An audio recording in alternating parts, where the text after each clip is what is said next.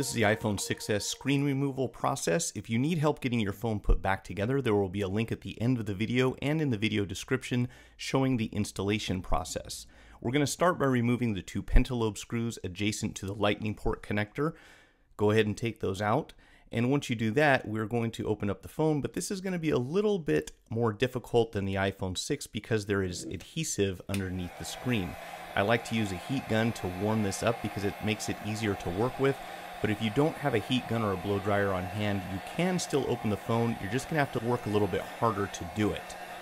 I do recommend that you wear safety glasses anytime you're working with broken glass or prying because there is some possibility that this glass can kind of fragment and end up in bad places. You definitely don't want that to be in your eyes.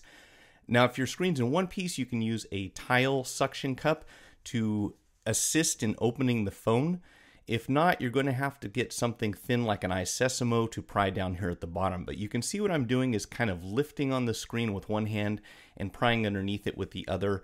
And once you get started here, you can get a pry tool inside and then just kind of work your way around the bottom and the sides of the phone. You don't need to go around the top end because that part is going to be latched in with some hooks that go underneath the frame. So you'll see that shortly. Uh, although the adhesive does go all the way around, you can't get underneath the top part at this point.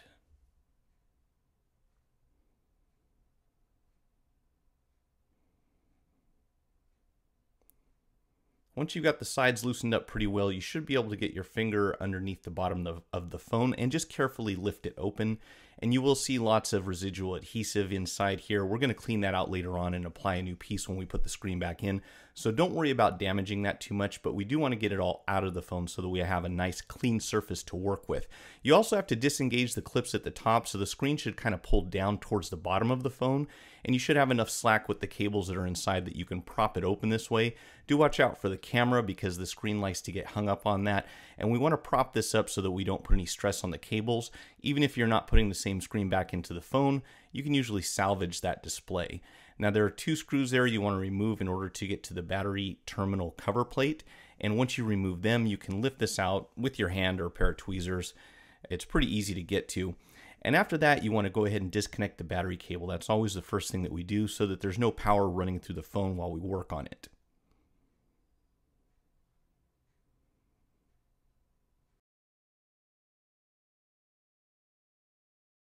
You'll have four screws up here that go into the cover plate for the display cables. Go ahead and take those out and make sure that you keep your screws organized. These are different sizes and they are not interchangeable. Once you get the four screws out, you can remove the cover plate and set that aside. And now we're going to go ahead and disconnect the display connectors.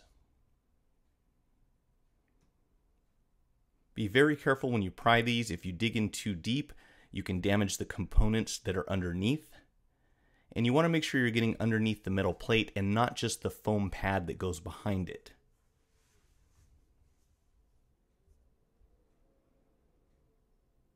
There are three cables in total. Once you have them all unplugged, you'll still have to kind of pull against the adhesive that's at the top end of the phone, but don't worry about that because again, we are going to replace this when we put the new screen in.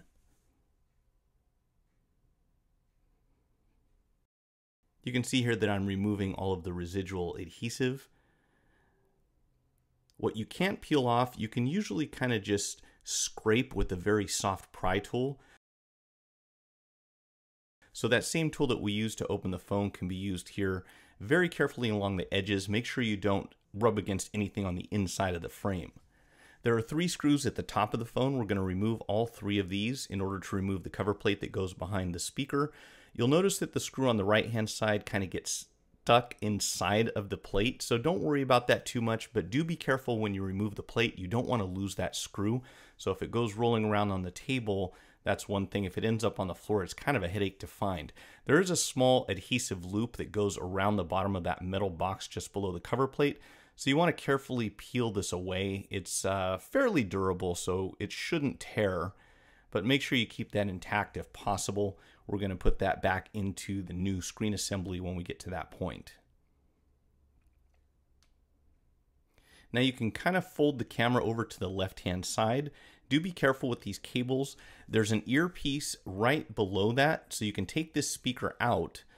But the next steps you want to be really careful with because the adhesive here is a little bit tricky. So if you peel this over to the left-hand side, you'll want to kind of maneuver these cables so that you can get to the microphone, which is that little gold box on the bottom. And in order to get this up towards the top, you have to be very careful to pry it because there is some adhesive between those two cables there. But once you fold it up, you'll see there's a very thin cable on the left side. And we want to be able to get to that so that we can pry underneath it. Again, be really careful. These things are fairly fragile. But if you take your time, you can kind of get underneath the side here and then just work your way across until you release the adhesive and once I reposition the pry tool here, you'll see that we can kind of peel this whole thing out without tearing it and then just pull the whole piece off and set it aside. We're going to reuse that later on. There are seven screws that we need to remove to get the cover plate from behind the LCD. So what you're going to do is start here at the top and these screws come in from the side. I'm going to show a close up here so you can see and they are very small. So be careful. It's not fun to lose these and try to find them. We'll have those three along each side that we're going to take out and we'll set those all aside so we can move to the next step.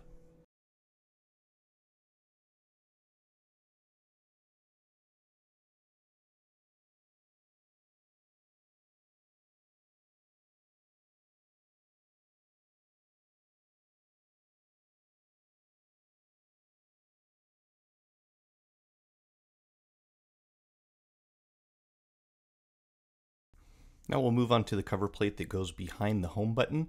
There are going to be three screws down here at the bottom that you can remove.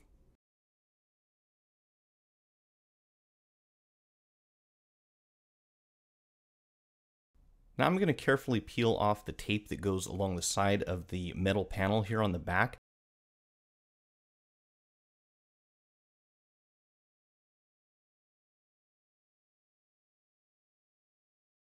It only takes an extra minute or two to get this off with a pair of tweezers and a thin pry tool. Something like a dulled razor blade works really well. Now once we have those peeled back, we can go ahead and remove the rear panel. So if you go down here at the bottom, there's a small tab that makes it easy to grab a hold of. And you can see I took off the cover plate for the home button first. And then we'll go ahead and lift this out and just kind of slide it down away from the display assembly. You will need to hold on to this for your replacement screen because they usually don't come with any of these parts that we've just removed. As far as removing the home button goes, you want to be very careful when you pry on the connector down here at the bottom. If you damage this, you will not have a fingerprint scanner no matter what, even if you replace the home button. So be very careful when you disconnect this pop connector and be especially careful when you're prying the cable away from the frame. There is some adhesive underneath there that we need to peel off and it's very difficult to get underneath and you don't want to just pull the button out because it can be torn in the process and again you will not have a fingerprint scanner. Even if you replace the button this is matched to the phone. There's one of a kind and there's no way that you can replace that yourself so be very careful when you peel that away and then you'll notice that it's going to be slightly more difficult to remove this home button because the adhesive is much stronger than on the previous iPhones. So I recommend that you apply some heat here if possible and take your time. The key to getting this button out without damaging the rubber boot is just to go very slowly and you'll start to notice when it comes away from the frame itself, you should be able to get it off all in one piece and you want to do that so that you can reuse the adhesive that's on there. It's not fun to try to reapply and it's not fun to replace that rubber boot. So hopefully yours is still in condition when you take it off and I lay it adhesive side up so it doesn't get stuck to anything that you're working with.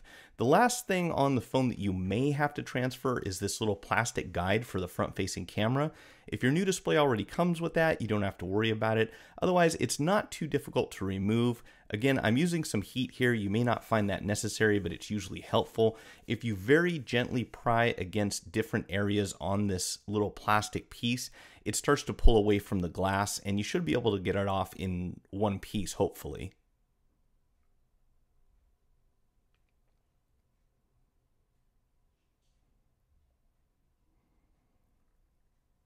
Set that aside and we'll use it for the replacement screen. If you found the video helpful, like it, share it, check out my channel for more tutorials and product reviews, and most of all, remember to hit the subscribe button. Feel free to leave your feedback in the comments section, and thanks for watching.